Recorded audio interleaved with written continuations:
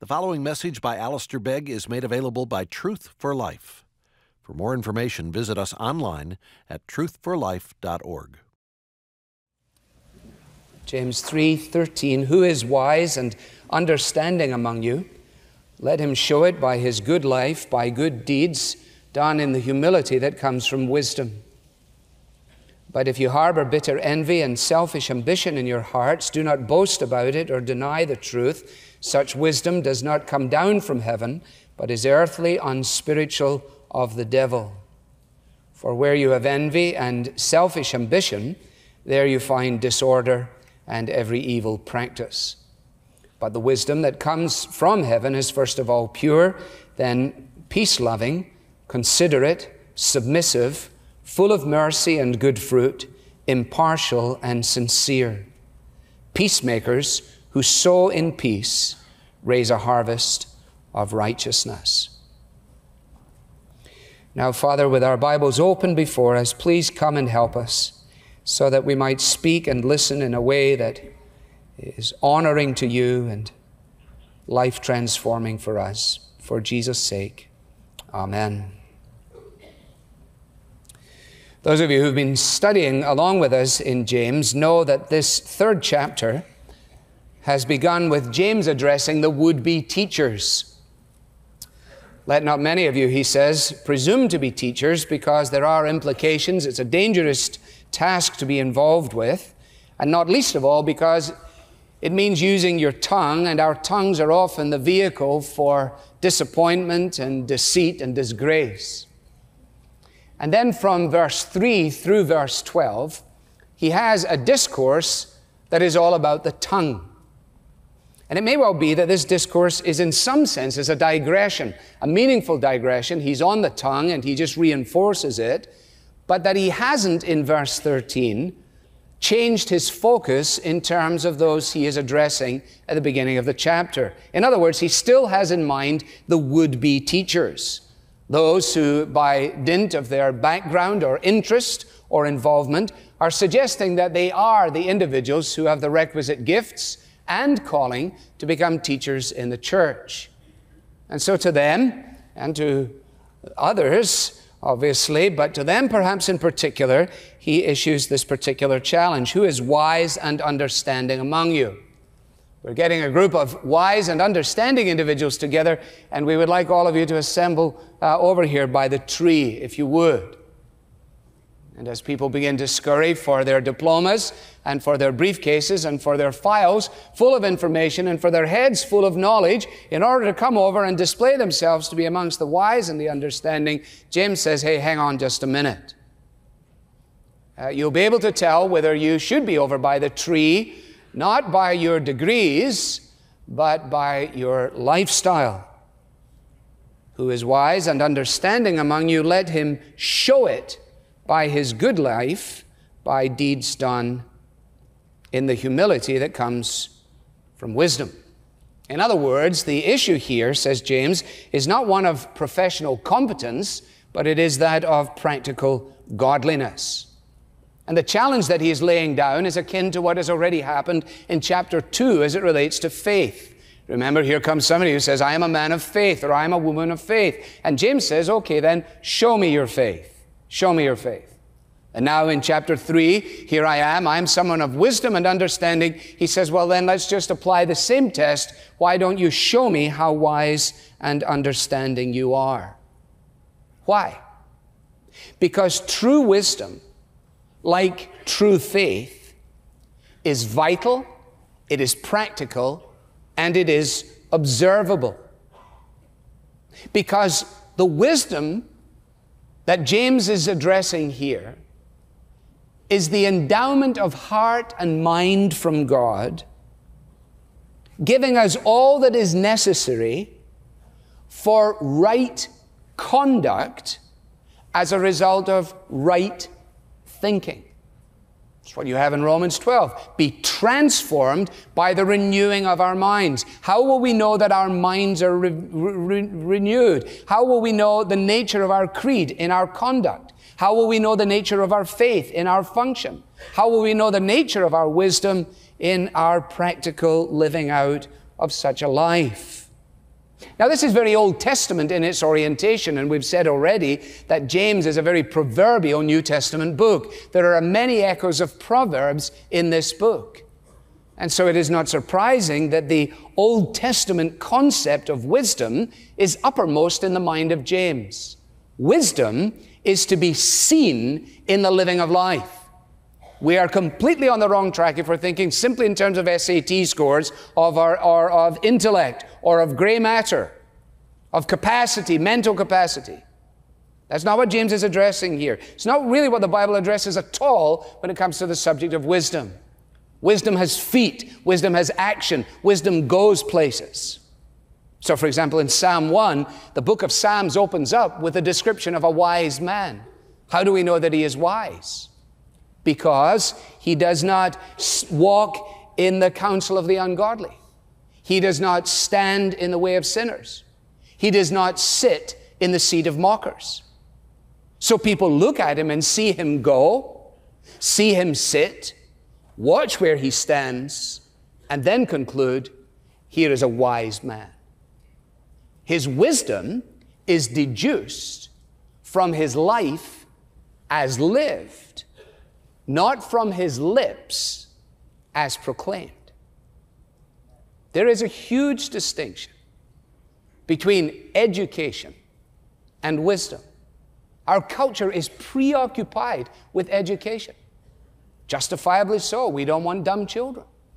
Parents are concerned. Schools are concerned. Politicians are concerned. But as I'll show you later on, Many of those concerns are completely divorced from that which James is addressing here.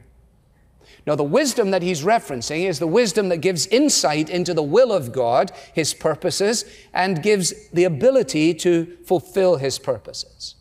And what I'd like to do is to isolate one wisdom from the other. You will notice if you have an NIV that it describes, it says here that there are two kinds of wisdom. One is heavenly, one is earthly, one is proud, one is humble, one is from heaven, one is from hell, and so on. We're only going to deal with it in terms of heavenly wisdom or true wisdom uh, to begin with. And we won't deal with all of it even this morning in this first instance. But to give you some idea of what we're trying to do, we will first of all look at the source of this true wisdom. And then in verse 17, at the nature of this wisdom. And then coming back to verse 13 again, at the evidence of this wisdom. But we won't get beyond We didn't really worry very much about it at all. James has already introduced the subject and has, and has answered his own question. And in the fifth verse of chapter 1, if you remember, he said, If any of you lacks wisdom, he should ask God generously. In other words, James knew his Bible. He knew this Solomon had written in his Proverbs, and particularly in Proverbs chapter 2, where he says, For the Lord gives wisdom, and from his mouth come knowledge and understanding. If you want to be a wise person, you need to know God. If you want to be a wise person, you need a Bible. If you want to be those who display understanding, then it starts with your own humility before the majesty and might of the God who has made you. And if you don't start there, then everything else will be deducted in a way that is flawed. So he says the wisdom back in James 1 verse 17 is the wisdom that comes down uh, from heaven. It comes down from heaven. And uh, this is simply another way of saying that it comes from God, the wisdom that comes from heaven. Remember that the Jews and Orthodox Jews to this day are concerned about the irreverent use of the name of God. And so they will, in every instance that they can, use a substitute for God. So if you have it, for example, in the parable of the prodigal son, when he comes to his senses, he says, I have sinned against heaven and in your sight, and I'm no longer worthy to be called your son. What does he mean he sinned against heaven? It's simply a way of him avoiding the use of God's name. I've sinned against God. God is in heaven. So when James says this wisdom comes down from heaven, he's simply saying what he's referenced in verse 5 of chapter 1. This wisdom is from God. And it is this wisdom which Solomon requested of God. Remember? How God comes to him and it's recorded for us in 1 Kings 3. It's a wonderful story. And, and God says, what, what would you like, Solomon? And Solomon says, Well, I would like to be wise. I'd like to be able to discriminate between error and truth. I'd like to be able to discern between right and wrong. I'd like to be a wise person. And 1 Kings 3.10 records the fact that the Lord was pleased that Solomon asked him for this. Good man, Solomon. That was, that was a good answer. Where did you come up with that answer, Solomon? Well, the answer to that question, Solomon tells us in, in Proverbs chapter 4. Listen to what he says. When I was a boy in my father's house, still tender and an only child of my mother, he taught me and said, Lay hold of my words with all your heart. Keep my commandments and you will live. Get wisdom. Get understanding. Don't forget my words or swear from them. So from his very infancy, Solomon was nurtured in the awareness of what he later writes, that the fear of the Lord is the beginning of wisdom. That the entry into the school of understanding is an entryway that comes in an encounter with God who has made us. And the God who has made us has revealed himself to us externally in creation and internally by means of our conscience. And so we have within us a sense of oughtness that speaks to the fact of his handiwork and his control. And we have above us and beyond us the vastness of the world that he has made which speaks to his power and to his majesty. Now, I'll leave you to read some of Solomon on your own. Uh, chapter 4 is particularly powerful as he calls out to his children to make sure that they don't neglect wisdom. Whatever else you do, he says, make sure that you are wise. Make sure that you discern between right and wrong. Make sure you make straight paths for your feet. Don't go from the right and don't go to the left. Is this just a, a sort of elaborate cry from an intelligent dad who is a pragmatist and knows the benefits of putting your best foot forward? No. No. Because he goes from chapter 4 into chapter 5, and what's chapter 5 about? Adultery. He doesn't want his boy to go down there. He doesn't want his boy to stop off at that house. What does he need?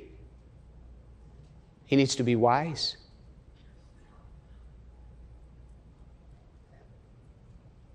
He doesn't need to be educated. If education was the answer to helping people to stop smoking, the information is so undeniable that there wouldn't be a person smoked in the entire world. Education is not capable to do it. If education could deal with teenage pregnancy, it would be over with. It can't do it. It's wisdom that is lacking. We're getting a group of wise and understanding people. They're going to stand over here by the tree. Who's, who are the wise and the understanding ones?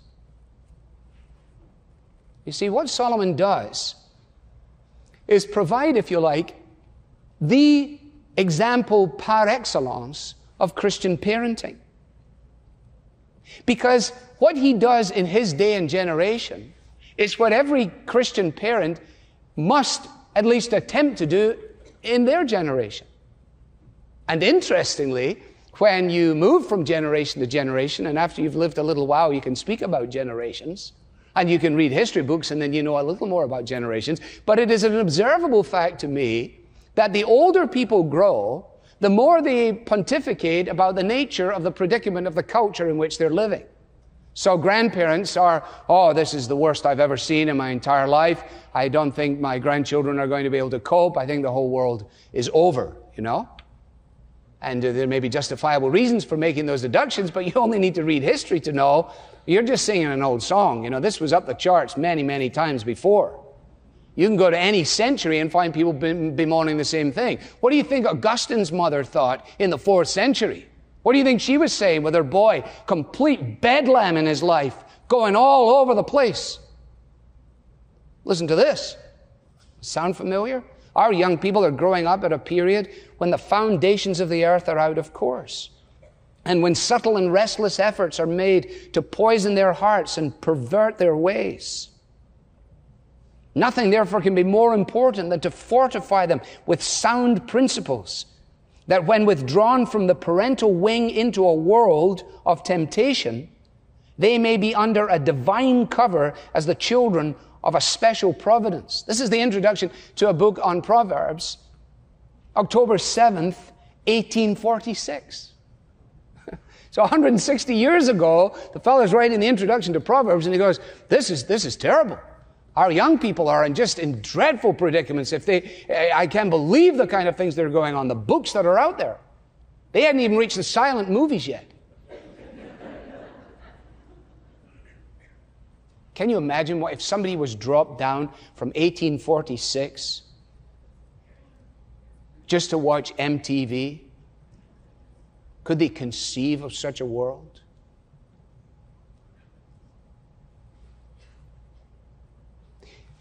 Eighteen forty six, that decade is interesting. Because it's in that decade that Jonathan Edwards, whose name you may know, and some of his colleagues started to call for what he referred to as a great awakening. Started to ask God to come and visit North America with a dramatic display of his power and of his wisdom. What most of us don't know is that what motivated this call from the heart of Edwards and his friends was the secular thinking being taught at Harvard and Yale. And they were so disappointed as graduates of Yale at how things had gone and what they had been taught that they asked God to come and speak wisdom again into our land. Now, if you think about this, it is quite fascinating because Harvard was founded in the 17th century. Glasgow University in the 14th century. Uh, but anyway, uh, we needed to produce the scholars to bring them over here so you could have a university. But anyway, sorry for that dreadful jingoistic burst. Couldn't resist it. But anyway, um, 16, uh, 1636, Harvard is founded. 1642, the student handbook is published in which every student at Harvard is called to be, quotes, plainly instructed and earnestly pressed to consider well that the main end of his life and studies is to know God and Jesus Christ, which is eternal life, and therefore to lay hold of Christ as the only foundation of all sound knowledge and learning. That's 1642 Harvard Student Handbook.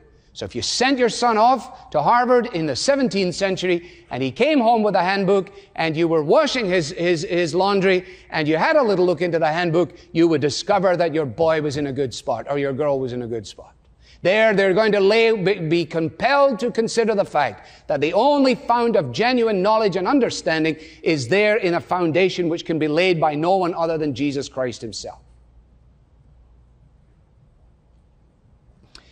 Yale was founded in 1701. And the reason for the founding of Yale was because congregational believers, that is, believers in the congregational church, were disappointed by the growing apostasy at Harvard. So that in the second half of the 17th century, despite the handbook in 1642, things had already begun to go south. So they established Yale. And Edward's mom and dad sent him to Yale for a good education, not like he would get at Harvard. And Edwards and his colleagues emerged from Yale and said, We better try another place. And they founded Princeton University as a reaction to Harvard and to Yale. What is the, what is the point of declension at every point? It is the departure from wisdom and the embracing of earthly perspectives. Simplistic analysis, undoubtedly. Faithfully true, Yes. In other words, such cries are far removed from the contemporary president of Harvard, who said just recently, things divine have been central neither to my professional nor to my private life. Issues of divinity, he says, do not influence me in my professional capacity, nor do they any, uh, play any part of significance in my private life. I admire his honesty. At least it's true. But it is a long way removed, isn't it? Now, let me pause purposefully with you here and just tease this out a little bit. Are, are, you, are you all right at this? Are you, are you with me? All right? This is a little bit of a digression, but it is a purposeful digression. It's not because I've run out of material. Let's just pause and acknowledge something that is, that is patently obvious. Ideas have consequences. Ideas have consequences. And people know that ideas have consequences, and that's why advertising is as profoundly uh, impactful as it is. Because it is essentially the packaging of ideas, of concepts, of notions. Some of them very subtle, some of them almost deceitful. It's amazing the way in which somebody sells their product to us by making us feel good about a funny little golden retriever that is running through the grass. But it's got nothing at all to do with uh, the, the, the, exorbitant fees that the bank is going to charge you for leaving your money in their, in their establishment. But somehow or another, the retriever did it. You know, it just, it, we got caught up by the retriever. They sold us an idea, they packaged it. David Myers wrote a book called The American Paradox. Spiritual Hunger in an Age of Plenty was the subtitle. It was published actually by Yale University Press. And this paradox he described as follows. We're better fed, better paid, better housed, better educated, and healthier than ever before, and with more human rights, faster communication, and more convenient transportation than we have ever known. Alongside all this largesse, however, are the signs of life in pain and travail. Since 1960, the divorce rate has doubled, teen suicide has tripled, violent crime quadrupled, the number in prison has quintupled, illegitimate children six times, sextupled, and the number of those cohabiting has increased sevenfold. Now, these are facts.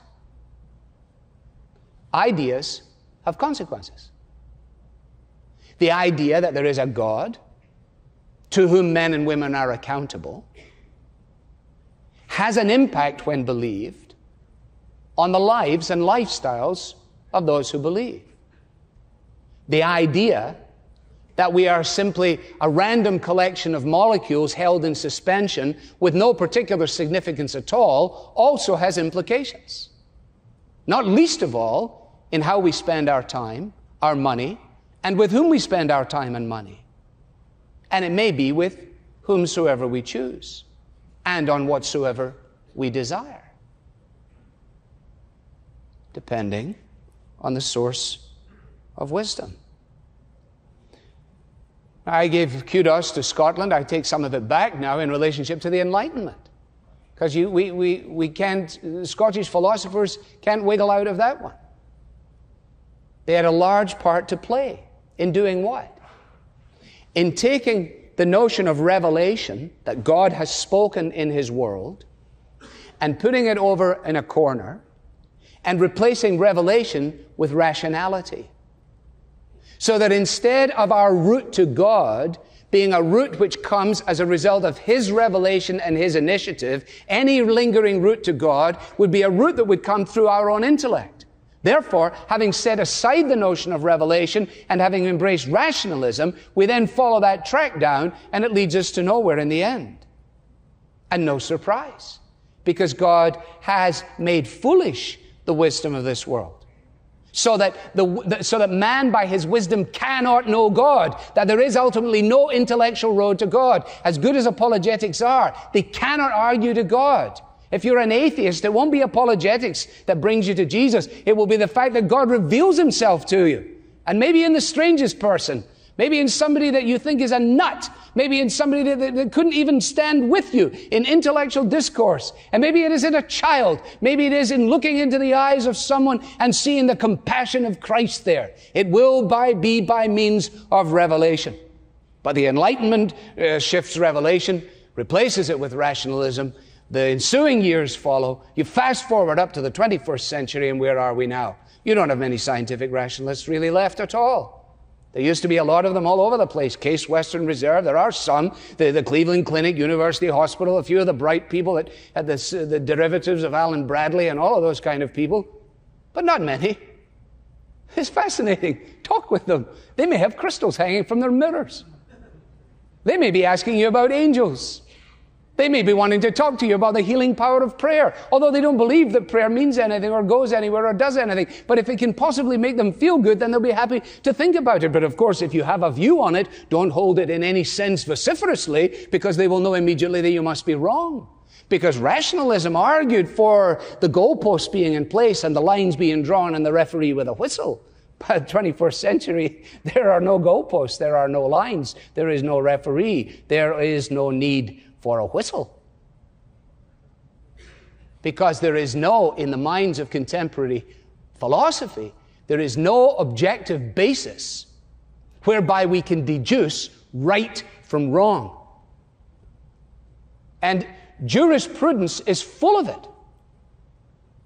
How can you have the Menendez brothers trial to which they confessed end in a hung jury? First time around. And, and we could go through a whole host of these things. What's the problem? The problem is that the jurors who sit aren't wise. Well, they might be intelligent, but they're not wise because they don't have the wisdom that comes from heaven. The wisdom that comes from heaven, which is moral before it's intellectual, which is ethical and practical before it is simply intellectually absorbable. Hence the teaching in our schools. Much of it is very effective, but it is not wise. The decisions that are made in the schools, they're not wise decisions. Why? Because in order to make a wise decision, you have to become a wise man or a wise woman. How do you become a wise woman or a wise man? By bowing down before God and acknowledging that He is the Creator, that we are accountable to Him as Creator, that we depend upon Him for our life and our breath and our existence and our minds and everything else besides. And, and, and contemporary man is unprepared for such an admission. I'm not going to bow down before someone I can't see. So, what are we? Well, we're, we're just a culture in crisis. And the reason we're a culture in crisis or Western civilizations in crisis is because we're individuals in crisis. Because the average person can't answer the question, Who are you? Who are you? Oh, we maybe joke about uh, uh, what's her name, Tricky Woo, uh, Paris Hilton, or whatever, and uh, and uh, the the coming in and going out and what she's doing, or or or, or, or Britney, or or, or, who knows, any of them. I see them when I'm, when I, every so often I try and help my wife about once a month and go to the grocery store. And there, when you're getting cartons of milk, you, you just get the whole of civilization there. Just, you only have to be there about a minute and a half. You get the whole deal. Who's leaving who, who's getting back together, who's married, who's divorced, whatever else it is. And you can look at it and you can disdain it, or you can just burst into tears when you think about it. Because they don't have an answer to the who question. Who am I? You see, if a person can't ask the who question, who am I, and answer it properly, and say, well, I am a moral being made in the image of a God to whom I am accountable, and before whom one day I will stand, then they're going to have to come up with something else. Who am I? I am my genes. The great search, you know, the great genetic search. We understand it from a medical perspective, but what's the big deal? Are you really that fascinated by your chromosomes? Who are you? I'm my genes. I am my sexual orientation. I am my past. I am my self image. I am my personality. I am my experiences. I am what I possess. I am what I eat. I am what I don't eat. I am what I do. I am what I know. I don't know what I am. Okay, now you're being honest. Ideas of consequences. Children cannot be taught at school that they were born without reason, that they prolong themselves by chance and they die and they go into oblivion, without it will make an impact on their lives and on their tiny minds. There's all the difference in the world between putting your head on the pillow at night as a teenage boy trying to make sense of your existence, knowing that God is in heaven and He will care for you if you call out to Him, and being told that there is no possible explanation for your existence. So whether you awake or whether you die, whether you live or whether you're significant is entirely irrelevant. Ideas of consequences. Now let's have the wise and the understanding stand over by the tree, says James.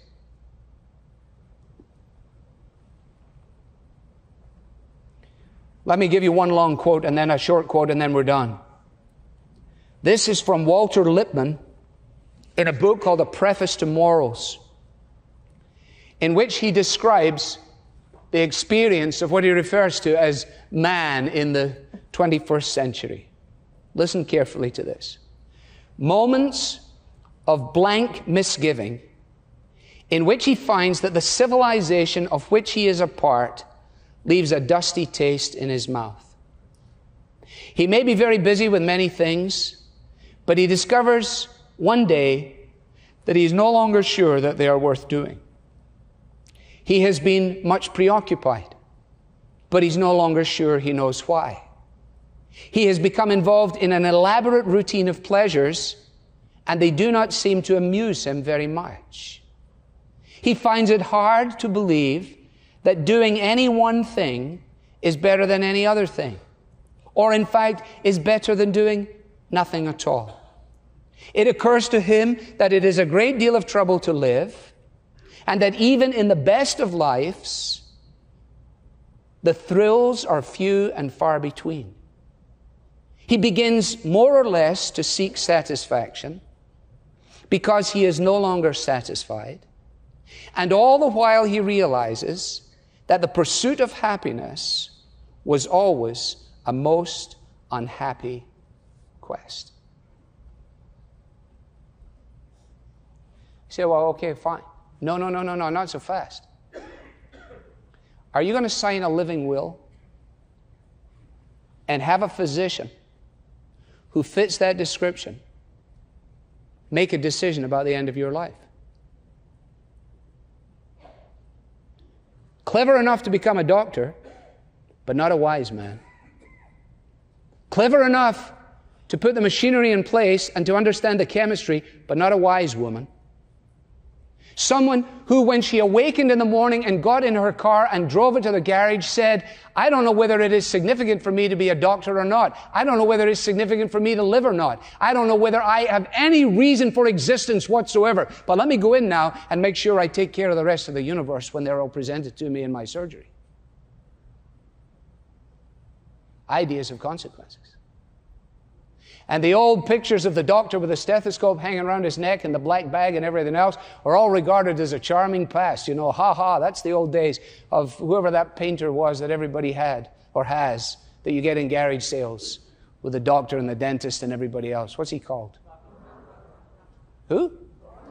Yeah, that's in Rockwell. Plates. He has plates. I remember that. But, but there, is a, there is a nostalgia in that because you, you can't imagine a Norman Rockwell plate, can you? For euthanasia? The, normal rock, the Norman Rockwell plate with the tube being removed from your grandmother's wrist? Ideas of consequences, loved ones. Don't, don't, don't miss this. And don't think for a moment that this is what happens when you read books and sit in the library all day. This is down at the popular level. This is down at the grassroots. 1953, Samuel Beckett's play, Waiting for Godot, or Godot, as is said here. I don't know where the emphasis should be in, in the syllable, but it's, uh, you know the play. It opened in Paris in 1953. I missed the opening, I was only one. And uh, it's amazing to me that that play is still, is still uh, out there. Have you ever seen it? Have you ever read it? There's no plot. There's actually no play, no movement. Nothing happens. No one goes anywhere. No conclusions are reached. No issues are resolved. And then the curtain closes. And everybody goes, man, whoo, that was fantastic. What did you, what did you make of that? So I just wasted 27 bucks. That's what I made of that. That's unbelievable. I can do that to myself. I can pull a curtain over, pull my shower curtain over and sit in front of it. How can we do stuff like that? Because we're not wise. It's an expression of foolishness. It's an expression of nihilism. It is an expression of emptiness. It is an expression of uh, lostness. It is the wisdom that is earthly and sensual and irredeemable. And in just in case you say, well, you know, so what? I, I don't know who uh, Beckett was and I frankly don't care. You don't need to go there. You just need to turn your TV on. Watch the reruns. Watch the reruns. Because Waiting for Godot oh, has reincarnated itself a number of times, and best of all, in a show about nothing. Oh, there couldn't be a show about nothing, was there? Who would, who would write a show about nothing? Seinfeld? Yeah. Everybody said, hey, it's going to be terrific. Wednesday night, there's a show about nothing. Can you believe that? No, I can't. Well, you wait and see. It'll be terrific. Thomas Hibbs says, a show about the comical consequences of a life in a world void of ultimate significance or fundamental meaning. The comical consequences of life in a world void of ultimate significance or fundamental meaning. That's what it's all about.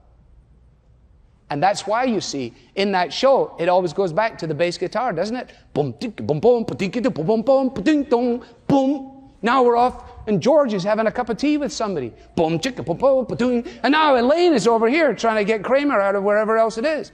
You say, well, how do we get from here to there? Doesn't matter.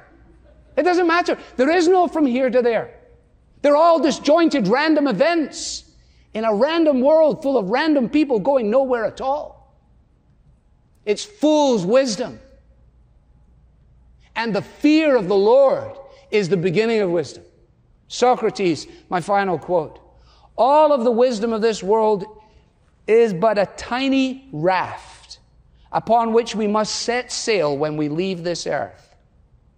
If only there was a firmer foundation upon which to sail, perhaps some divine word.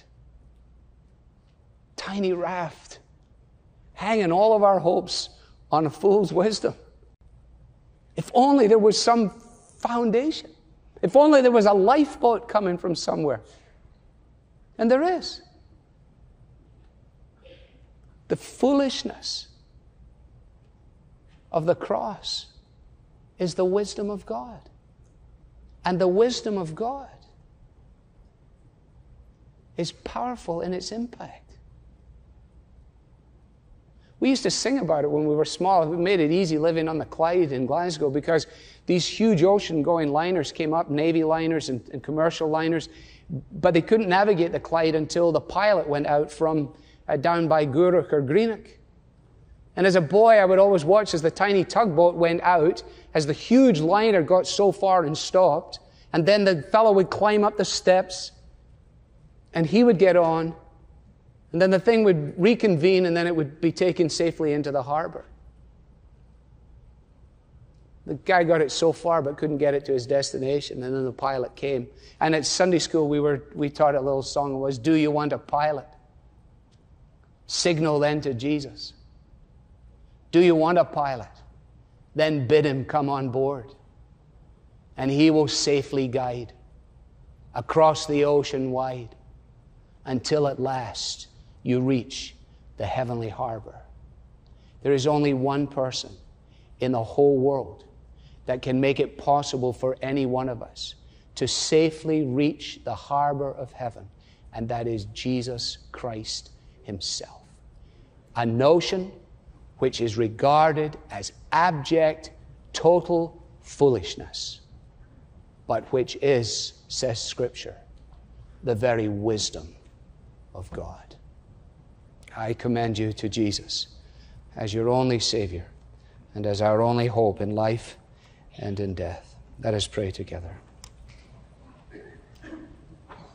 O oh God, our Father, part us now with your blessing.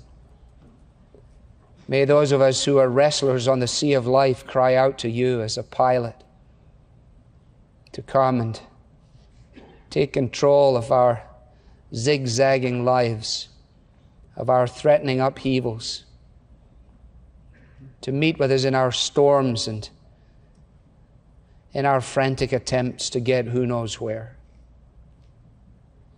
Forgive us for thinking we can do it on our own, figure it out. We put our hands over our mouths and we say, Oh God, Come and take control today. Fill me with the Lord Jesus Christ in all of his wisdom and his righteousness and his truth. And may grace and mercy and peace from the Father and the Son and the Holy Spirit be the abiding portion of all who believe, today and forevermore. Amen. This message was brought to you from Truth for Life, where the learning is for living. To learn more about Truth for Life with Alistair Begg, visit us online at truthforlife.org.